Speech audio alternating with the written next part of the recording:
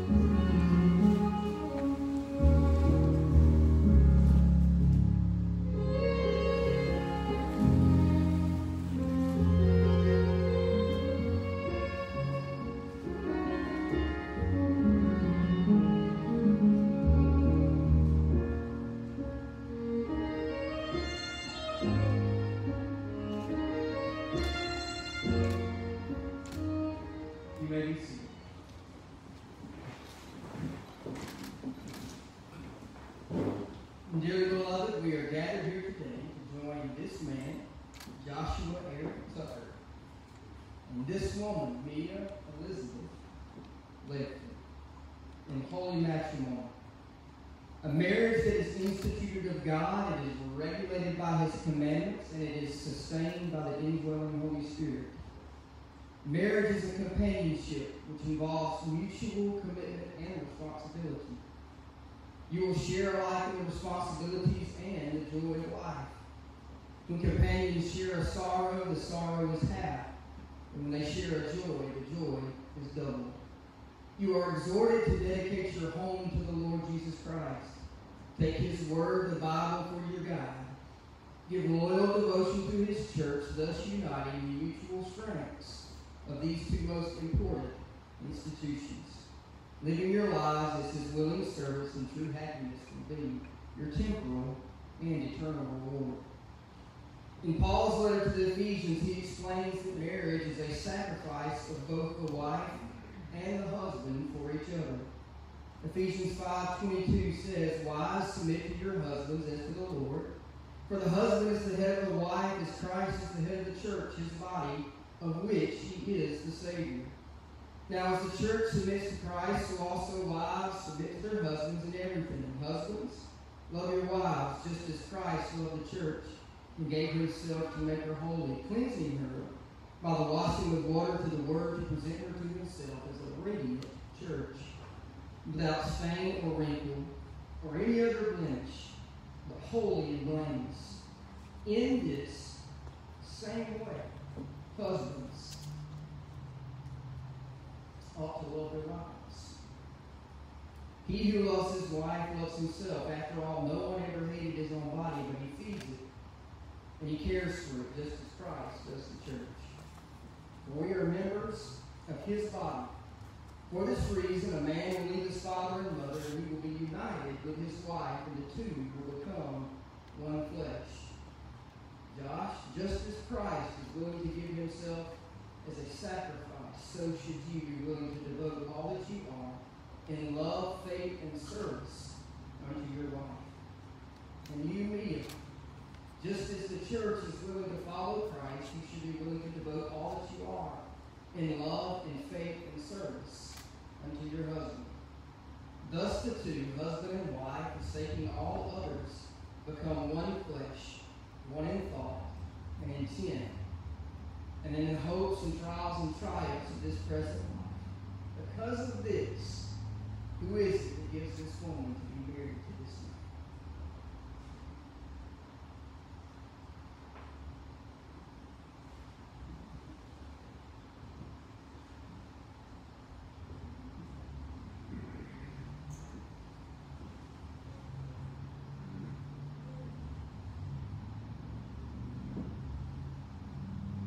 Ooh, no. I'm just going to say this, and I'm going to put most of it on your shoulders, all right? Okay? Can I do that? Love. Serve. Keep her on test. She'll. A home was built on love. Which virtue is best portrayed in the 13th chapter of Paul's letter to the Corinthians? Love is patient. Love is kind. Love is not jealous or boastful. It is not arrogant or rude. Love does not insist on its own way. It is not irritable or resentful. It does not rejoice at wrong, but rejoices in the right. Love bears all things, believes all things, hopes all things, endures all things. Love never fails. So faith, hope, and love abide, these three, but the greatest of them Josh and Mia, because you love each other and because you have freely and deliberately chosen each other to be partners in marriage, and knowing it be, to be the divine will of God, and knowing of no reason why the marriage should not take place, would you please join together right hands? Josh, taking the woman whom you hold by the right hand to be your lawfully wedded wife, will you commit yourself to her, to her happiness, her self-fulfillment as a person, and to her usefulness in God's kingdom?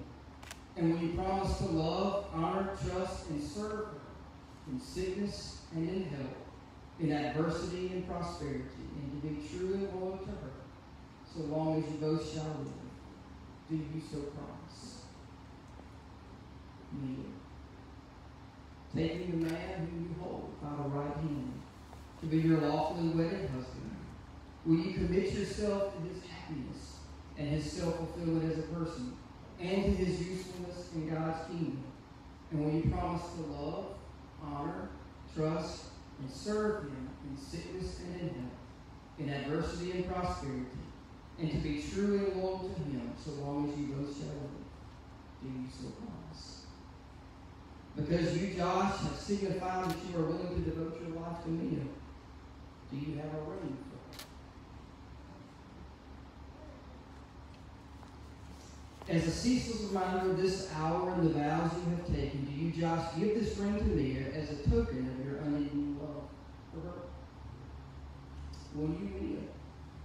Take this ring as a token of Josh's love for you, and will you wear it as a sign of all the love and the commitment that you have made to each other?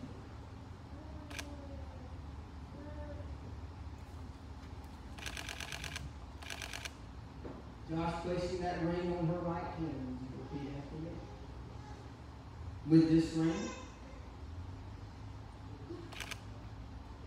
don't, do that to me. I thee wed. And all that I am, I give to thee. In the name of the Father, and the Son, and the Holy Spirit. Amen. Because you, Mia, have signified uh, that you are willing to devote your life to Josh, do you have a ring for him?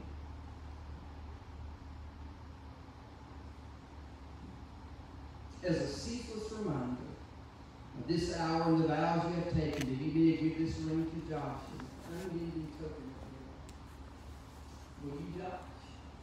Take this ring as a token of Mia's love for you, and will you wear it as a sign to all and the love and the commitment that you have made to each other?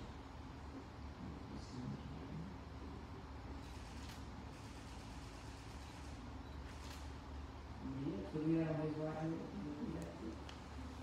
With this ring, I thee wear, and all that I am I give to thee.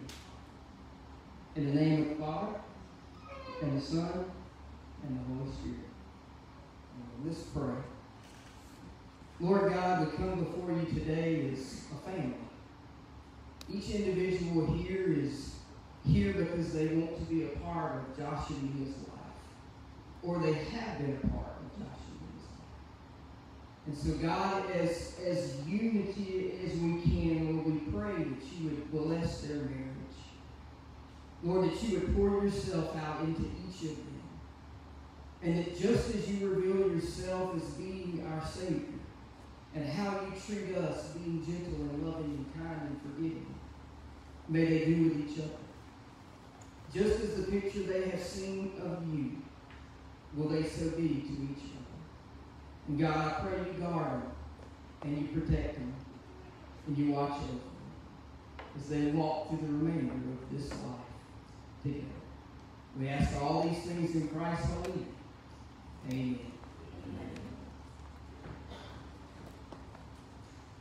It's not just for them. It's for you too. And what I'm asking is, is that each day, because if, if you weren't here today, uh, you, you probably wouldn't care a whole lot. But the fact that you're here lets them know how much you care and how much you want them to be happy in this life. So this is what I ask. You pray for them. Every time that the Lord Jesus brings Josh and Mia to your mind, you pray for them. That God would do exactly that. Bless them and love them and take care of them. For as much as you, and you, Mia, have consented together in holy wedlock and have witnessed the same by the Lord and these people and declare the same, giving your receiving rings and joining your hands by the authority of God and the laws of this state.